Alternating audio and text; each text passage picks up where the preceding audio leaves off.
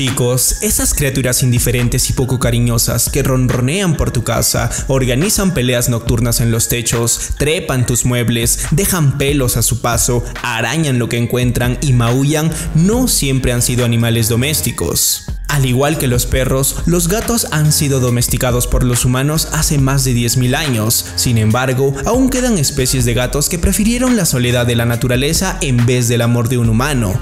Hoy conoceremos esas especies salvajes que no necesariamente se caracterizan por ser amables. Así que, ¿están listos para conocer a los primos de gatos más curiosos y raros del mundo? No, no me importa, allá vamos. Top 8 gatos salvajes que no conocías.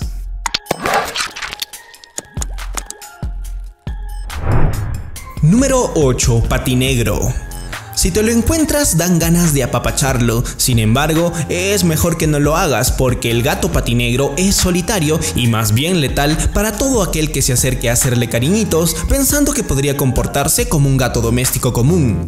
Este tipo de felino es el gato salvaje más pequeño de África, pero que no te engañe su adorable aspecto, es un cazador nato con una tasa de mortalidad en sus presas superior a la de cualquier otro felino y esto incluye leones y tigres. Hablando de leones, no esperes que este tipo de gato emita maullidos adorables, porque sus rugidos son roncos, como los de grandes felinos con los que convive.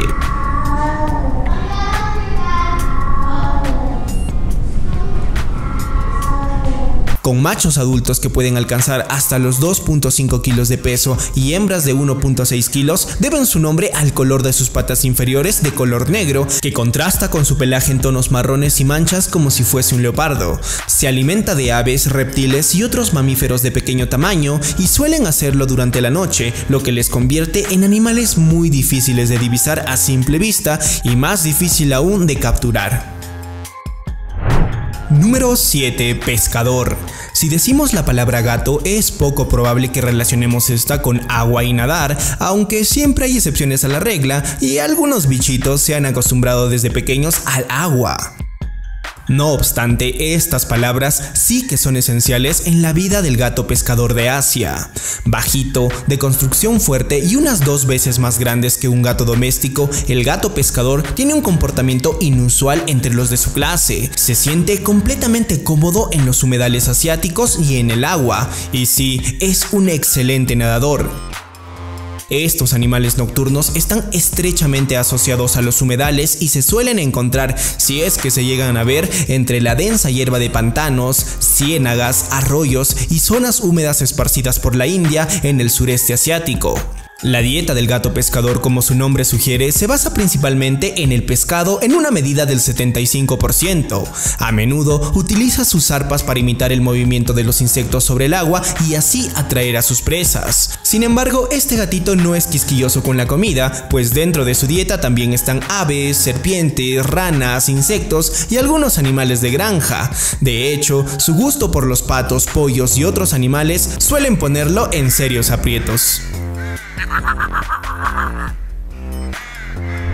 Número 6. Borneo. El gato de la bahía o gato de Borneo se puede decir que es el miembro menos conocido de la familia de los gatos. Aunque fue descrito por científicos por primera vez en 1874, no hubo fotografías de un individuo vivo hasta 1998. Por ello, los científicos se quedaron sorprendidos cuando sus cámaras capturaron fotografías de estos gatos caminando en un área de explotación forestal comercial en Sabah, un estado del Borneo malasio. El gato de la bahía es ligeramente más grande que un gato doméstico, pero con una larga cola. Su piel pardo rojiza diferencia a este gato de otros felinos de la región, aunque algunos individuos muestran un color negro grisáceo. En los últimos años ha surgido más información sobre este gato. En el 2015, los investigadores anunciaron que han fotografiado especies en alturas inesperadas, pero todavía nadie ha llevado a cabo un estudio de la especie y casi nada se conoce de su comportamiento. Número 5. Cerval. El gato cerval no juega al despiste, a simple vista se puede apreciar que no se trata de un animal doméstico sino de uno salvaje. De constitución esbelta, esta especie que parece un pariente cercano del guepardo más que del gato, destaca por tener unas largas patas en comparación con el resto del cuerpo. Este felino puede alcanzar hasta un metro de largo y llegar a pesar hasta 18 kilos en el caso de los machos y de 9 a 12 kilos en el caso de las hembras. Tiene la cabeza pequeña, por lo que sus orejas triangulares destacan notablemente. Por supuesto, el comportamiento de este mamífero es más salvaje que el de un felino normal. Es un gran depredador que siempre está alerta y que se alimenta de liebres y pequeños roedores. Cabe resaltar que existe un gato doméstico llamado Sabana que es el entre un cerval y un gato siamés y actualmente es considerado el gato doméstico más grande del mundo. Sin embargo, muchas personas prefieren tener al mismísimo gato cerval de mascota. Número 4. Gato de las arenas. El gato de las arenas es una especie de felino sumamente adaptada a las regiones áridas y arenosas. Conocido también como gato del desierto, su población se distribuye mayormente en el continente africano y asiático. Actualmente es la especie más pequeña conocido del género Felis junto al gato patinegro. Su cabeza es notablemente ancha y sus orejas son muy amplias, lo que mejora su audición y la pérdida del exceso de calor. Se trata de un animal carnívoro que, a pesar del pequeño tamaño, demuestra gran capacidad en la casa. Al igual que los demás felinos, el gato de las arenas mantiene hábitos mayormente crepusculares o nocturnos. Durante la mañana y buena parte de la tarde, el gato del desierto permanece refugiado entre las rocas para protegerse del calor extremo. Este lindo bichito salvaje se encuentra en la lista de especies amenazadas cuya caza está prohibida en muchos países. Número 3. Bengalí. ¿Quién no ha sentido fascinación alguna vez por el andar elegante de un robusto tigre?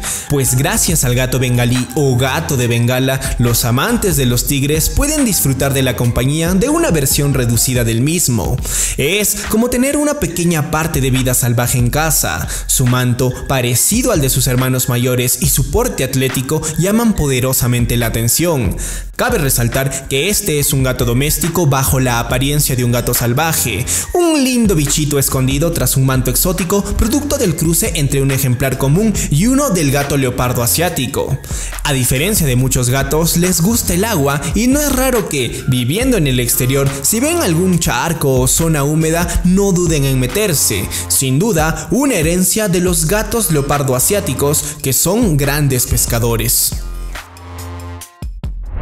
Número 2. Cabeza plana. Este lindo bichito salvaje no alcanza los 2 kilos de peso y no sobrepasa los 50 centímetros. Vive en el sureste asiático y es muy especial pues posee una característica que los distingue de todos los demás gatos. Su cabeza es aplastada y pelirroja. También es conocido por el nombre de gato turón, y es que si lo comparamos, se parece a uno de estos mustélidos. Lamentablemente, el 70% de los lugares que este gato solía habitar han sido destruidos y convertidos en plantaciones, motivo por el cual es una especie en peligro de extinción. Número 1. Manul. Finalmente llegamos al gatito de la miniatura.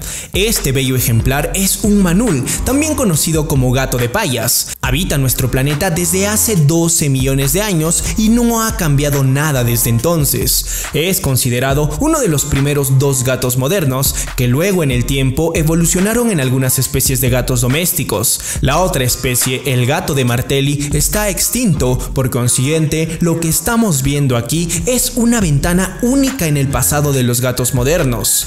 Los gatos manul son una especie salvaje casi amenazada que se encuentra en las praderas y estepas montañosas de Asia Central. Se les distingue porque tienen la pupila redonda, patas cortas, una cara plana y unas orejas anchas con las que crean algunas de las expresiones más divertidas del reino animal. Los gatos de payas suelen vivir a más de 5.000 metros de altura sobre el nivel del mar, lo que resulta en un sistema inmunológico deficiente al faltarles exposición a infecciones virales. Por esta razón no suelen sobrevivir mucho en cautividad y las nuevas camadas tienen una tasa de mortalidad de hasta el 50%. Aunque estas divertidas fotos puedan hacer que el gato de payas parezca una mascota interesante y expresiva, la verdad es que son de naturaleza solitaria y salvaje. Eso y su sistema inmunológico antes mencionado los restringe a estar en cautividad solamente en zoológicos especializados.